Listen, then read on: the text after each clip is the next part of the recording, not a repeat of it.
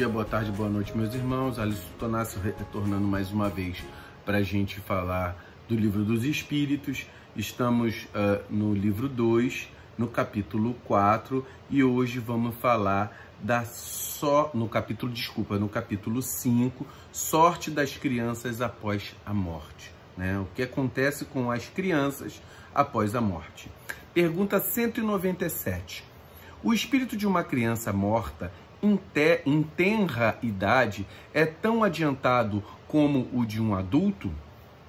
A espiritualidade vai responder: às vezes, bem mais, porque pode ter vivido muito mais e possuir maiores experiências, sobretudo se progrediu.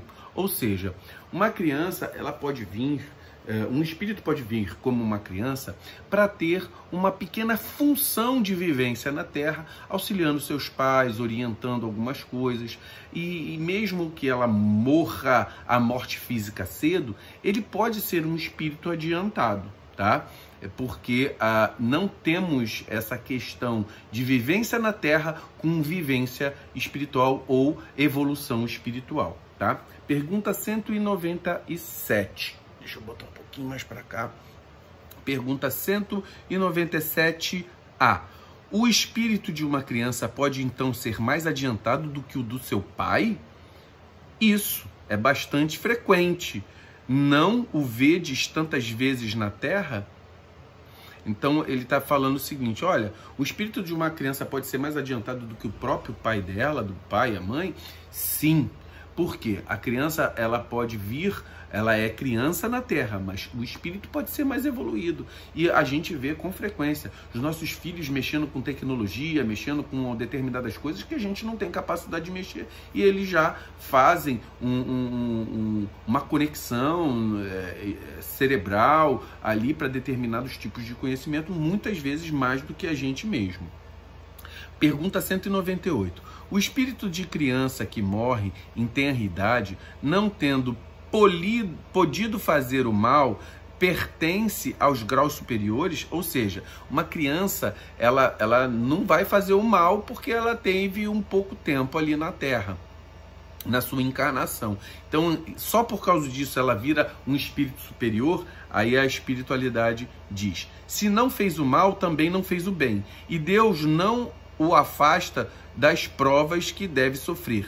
Se é puro, não é pelo fato de ter sido criança, mas porque já se havia adiantado. Ou seja, um espírito de um, de um o grau evolutivo, quando ele vem no grau evolutivo de uma nova reencarnação, não é porque ele morreu cedo que ele vai ser um espírito adiantado. Ele vai ser um herê, um espírito de luz. Não, ele era já de luz antes de reencarnar. Ele já era superior antes de reencarnar, como ele pode ser um espírito inferior é, antes de reencarnar. E quando ele re reencarnar, ele vai manter o mesmo padrão é, de, de escala que o espírito dele tenha. Uh, pergunta uh, 199 por que a vida se interrompe com frequência na infância? Na época de Kardec. Hoje em dia, a vida na infância, a gente tem uma tecnologia médica que já segura bastante uh, as crianças na, no corpo físico, né? Então a medicina avançou bastante. A duração da vida da criança pode ser, para o seu espírito, o complemento de uma vida interrompida antes do termo devido. E a sua morte é frequentemente uma prova ou uma expiação para os pais. Então vamos lá. Então, um espírito pode ter vivido numa outra encarnação e, por, por suas experiências, sua, uh, seu tipo de, de vida, seu estilo de vida que ele viveu na outra encarnação, é, pode ter uh, morrido ante, vamos colocar assim, antecipadamente entre aspas, né? Então vamos supor, no, no, antes a gente vive, vive, e viveu muito tempo de guerra. Então aquela, aquele ser espiritual ali, ele tinha uma reencarnação é, que necessitava de um tempo X e durante aquele período ele participou da guerra e nesse, e nesse momento ele Uh, o, o, a carne morreu, foi, ele foi morto num período de guerra. Então ele precisa, mas ele precisava ter aprendido algumas coisas e faltava pouco para ele aprender.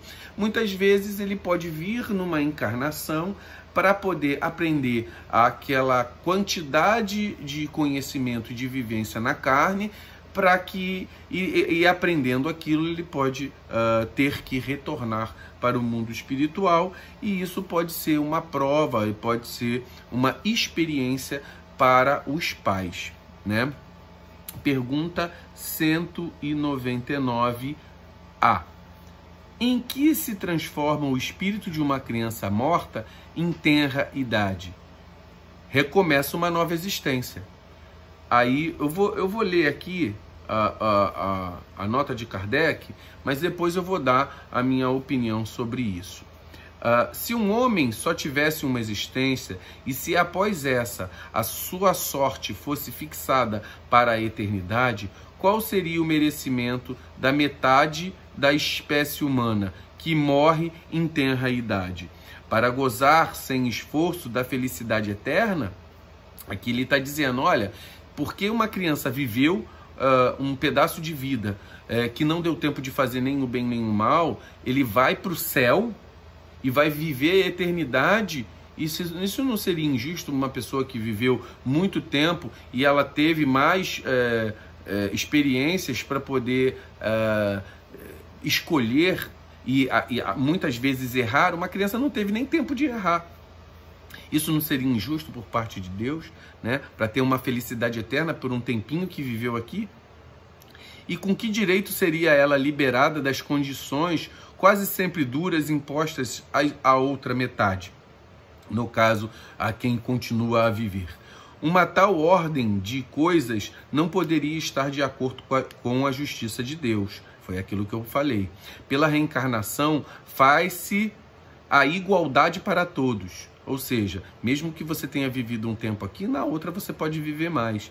E mesmo que você tenha vivido sendo tendo uma experiência longa aqui, numa outra pode viver menos e vai variando dependendo da necessidade. O futuro pertence a todos, sem exceção e sem favoritismo. Ou seja, Deus não é, beneficia uns e prejudica outros. Tá? Deus não prefere uns e nem prefere outros. Ele dá a todos a mesma oportunidade. E os que chegam por último só poderão queixar-se de si mesmos.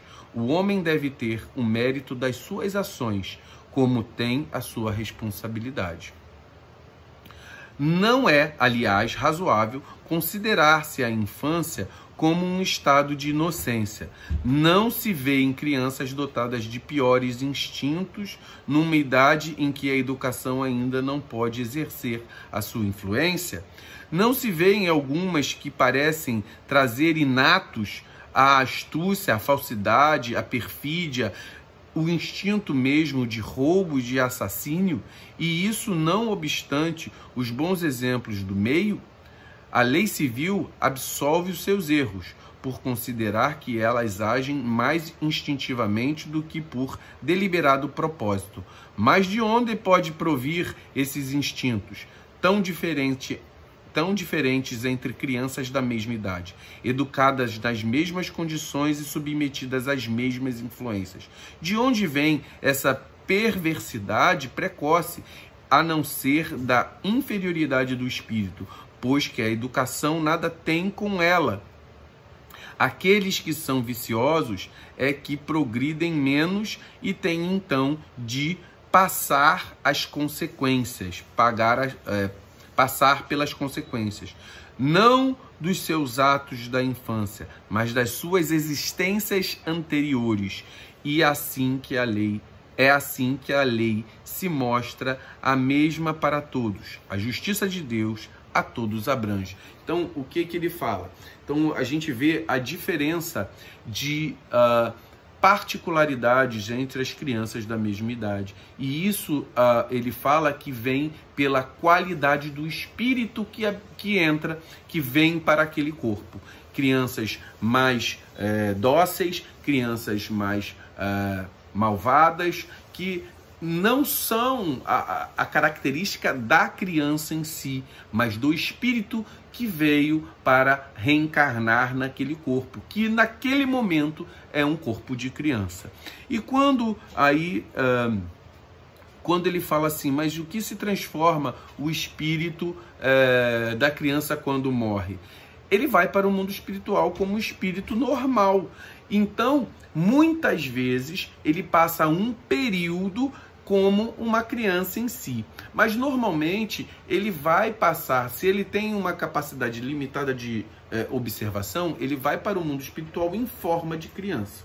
Tá? Mas a sua mente não é mais uma mente de criança, é uma mente de um adulto espírito e de, de um adulto espírito que passou por várias é, reencarnações e a sua mente se abre. Ele, ela tem limitações na matéria, né, no sentido do desenvolvimento neurológico, mas quando ela vai para o plano espiritual, essas limitações acabam e ela começa a pensar como espírito que tem as suas capacidades plenas de consciência. Muitas vezes, quando ele, ele libera essa capacidade plena, o, o perispírito dele muda por um padrão de adulto. E outros não. Isso vai depender muito de cada um ser espiritual que está ali. Então, uh, ele pode adquirir um, uma plasticidade do seu perispírito e, e, manter a forma de uma criança, mas a, a, capacidade mental dele é de um, de um espírito, daí vai depender do nível que ele esteja, e uh, ou quando abre-se, ele pode adquirir uma forma de adulto. Esse que se manteve como capacidade de, com, com um perispírito em forma de criança, ele vai passar por uma nova reencarnação, vai ter uma vivência em que vai ter a, a possibilidade de chegar à vida adulta e vai manter uh, um padrão perispiritual da sua última encarnação. Então a gente fica nesse nesse conhecimento da, das questões da juventude, da infância uh, espiritual, no, do, do, da infância na matéria, quando vai para o mundo espiritual. Muito axé, meus irmãos.